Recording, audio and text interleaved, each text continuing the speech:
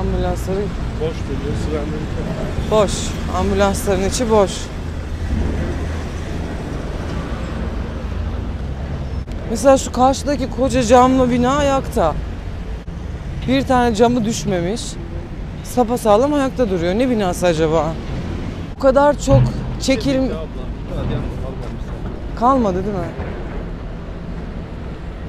Ya o kadar çok çekilmesi, görüntülenmesi gereken yer var ki şu an mesela işte müzelere ne oldu bilmiyoruz. Yani şehri tamamıyla gezip görmek lazım ne nerede ne olmuş diye. Bilmiyoruz, hiçbir şey bilmiyoruz. Şu anda çok büyük bir kaos var. Hiçbir şey de tespit edilemiyor. Yani felaket ya. Felaket yani, felaket. Şu binanın ne binası olduğunu bilmiyorum, anlayamadım. Bir tane de tabela görmedim. Ne acaba? Hiçbir şey olmamış çünkü oraya bakın. Sapa sağlam duruyor camından her şeyine kadar.